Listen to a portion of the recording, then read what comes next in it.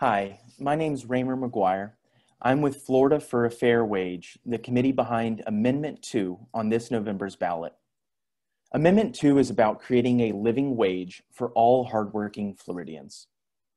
The current minimum wage in Florida is only $8.56 an hour. That equates to about $17,000 a year for a full time worker.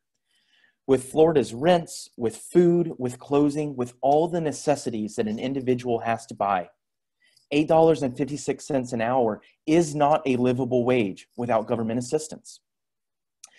The M- MIT Living Wage Calculator estimates that the living wage in Florida is somewhere between 12 and $13 an hour, depending on where you live.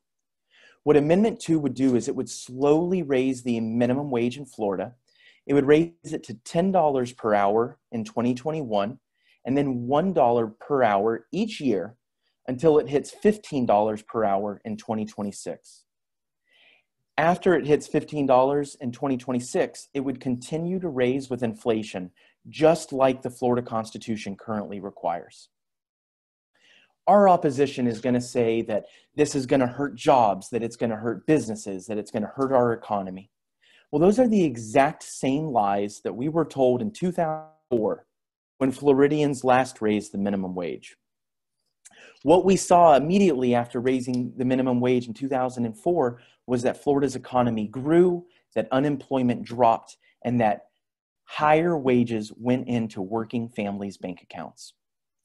So if you believe that all hardworking Floridians deserve a living wage, I would ask you to vote yes on Amendment 2 this November. You can vote by mail, you can vote early, or you can vote on Election Day on November 3rd. But what's most important is that you vote yes on Amendment 2. If you want to learn more about our campaign or read our petition language, go to floridafairwage.com. And remember, all hard for all hardworking Floridians deserve a living wage.